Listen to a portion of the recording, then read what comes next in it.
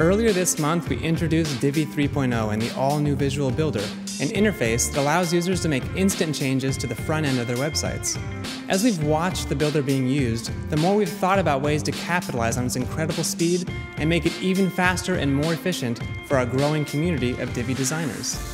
So today we are happy to announce a comprehensive set of keyboard shortcuts for the Divi Builder.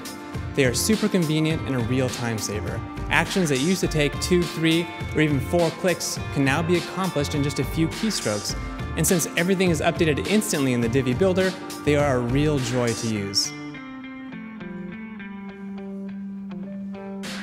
All of the common keyboard shortcuts you would expect are now available and work great right inside the Builder. Press Ctrl C to copy and Ctrl V to paste. Ctrl S will save your changes, and Ctrl E will exit the builder. If you ever make a mistake, just press Ctrl Z to undo, and if you change your mind, press Ctrl Y to redo. Control plus and minus will zoom in and out of different responsive preview modes. Escape to close a pop-up, Enter to save, Control Enter to go full screen, Shift Tab to switch tabs.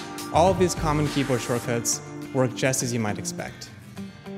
But this update was about more than just integrating the standard keyboard shortcuts. We wanted to make all actions inside the Divi Builder easier to perform.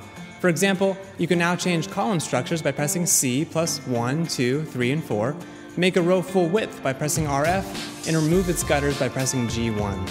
We've added some entirely new features as well, such as the ability to copy styles from one module to another, mirror draggable padding, add new content, and access all of Divi Builder's settings windows with a single keystroke.